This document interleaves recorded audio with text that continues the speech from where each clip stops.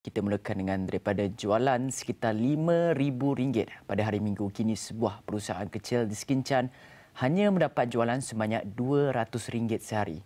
Ini kisah Musliha Zainuddin, pengurus syarikat MHP Enterprise Masri yang sebab ketika berkongsikan cabaran membayar gaji pekerjanya untuk menampung kelangsungan hidup mereka mungkin uh, hari Sabtu dan Ahad macam tu ya.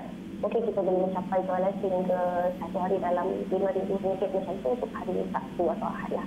Tetapi untuk uh, keadaan sekarang ni uh, memang sangat ter, uh, sangat terkesan saya sendiri dalam satu hari jualan uh, mungkin dapat dalam uh, 200 dan macam tu. Dan pada masa yang sama kami kena fikirkan uh, bagaimana untuk kita nak bayar kos-kos overhead kan.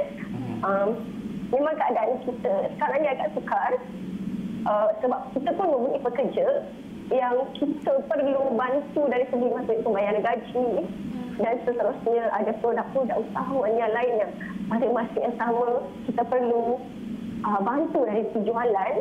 Tetapi uh, pada saya dengan uh, maksudnya dengan ada musibah ni uh, saya rasa akan ada hikmah yang akan datang selepas inilah kan. Perusahaan itu merupakan hasil titik peluh Musliha yang ingin memastikan perniagaan ayahnya menjual sayur-sayuran sejak 1985 tidak terkubur. Sejak mengambil alih perniagaan itu pada 2006, beliau tekad mengembangkan jualan produk makanan tempatan terutamanya kuah kacang atau pecal hasil resepi keluarganya yang berjaya diekspor ke Singapura, China dan Dubai. Namun kini, cabaran terbesar buat Musliha sejak pelaksanaan PKP adalah untuk membayar gaji pekerja yang kebanyakannya merupakan golongan B40.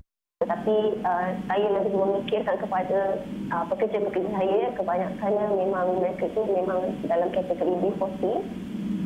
Dan pada masa yang sama, jika saya tak berikan mereka pekerjaan, bagaimana mereka nak menampung uh, pendapatan mereka? Maksudnya dari segi uh, bagaimana mereka menghadapi apa uh, kehidupan seharian. Tetapi uh, saya percaya dengan adanya bantuan daripada kerajaan, iaitu bantuan sara hidup dan sebagainya, dapat membantulah secara uh, secara maksudnya uh, langsung kepada mereka dan pada masa sama saya juga memohon uh, bantuan uh, bagi subsidi upah daripada, daripada, daripada maksudnya apa yang telah uh, Perdana Menteri kita umumkan uh, daripada pakej rancangan ekonomi tambahan uh, baru-baru ini. Jadi saya akan mengambil peluang tersebutlah untuk uh, maksudnya memberi uh, maksudnya manfaat kepada pekerja. Musliha bagaimanapun kekal positif dan berharap bantuan kerajaan dapat meringankan beban buat semua usahawan perindustrian kecil dan sederhana. Katanya ini adalah masa buat setiap usahawan untuk terus memberi sokongan antara satu sama lain masa yang sama uh, ingatlah tanggungjawab kita bukan untuk uh, membantu diri kita saja tetapi untuk membantu uh, rakan-rakan lain terutama pada masa sekarang ni tujuan kita sama-sama kita berganding bahu.